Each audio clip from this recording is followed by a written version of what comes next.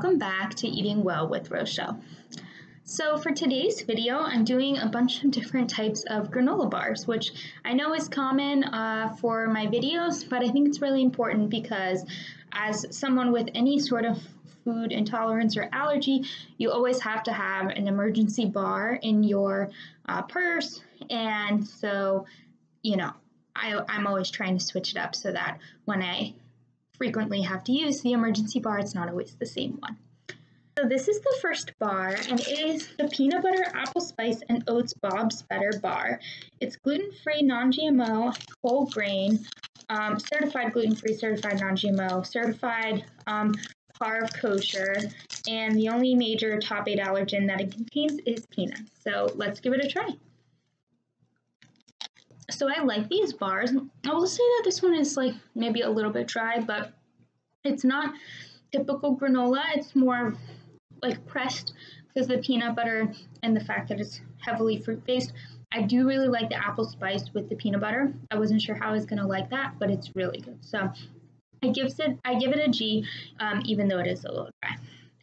So next, moving on, I have another flavor of these bars from Bob's Red Mill. This one is peanut butter, banana, and oats, Bob's Better Bar. And again, it's certified gluten-free, certified non-GMO, certified par kosher, and the only top eight allergen is peanut. So let's give it a try.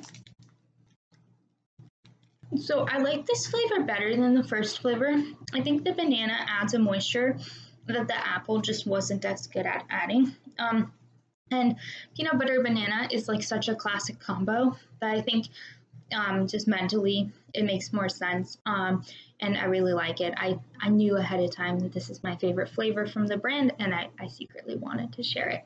Next bar I have is called This Bar Saves Lives, and it's Madagascar Vanilla Almond and Honey. It is gluten free, certified non GMO, certified OUD kosher. And um, the only top eight allergen it contains is almonds, uh, but it is manufactured in facility with other allergens. So let's give it a try. I do like this one, but it is more traditional granola, and so it is just inherently drier. The Madagascar vanilla and the honey flavor do really come out, especially the more you chew it, and it is really good.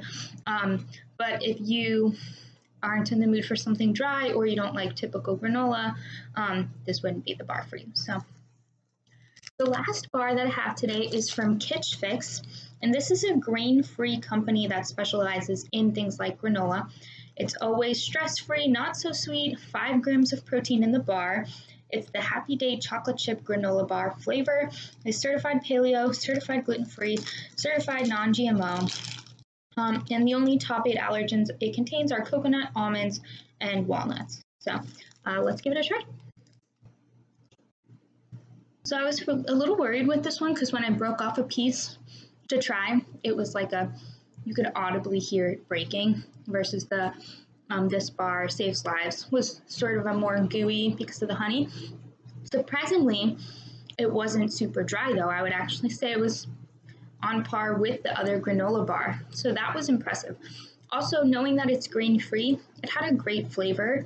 Um, because it's seed based, it has a different flavor than the other ones, um, rather than the grain granola.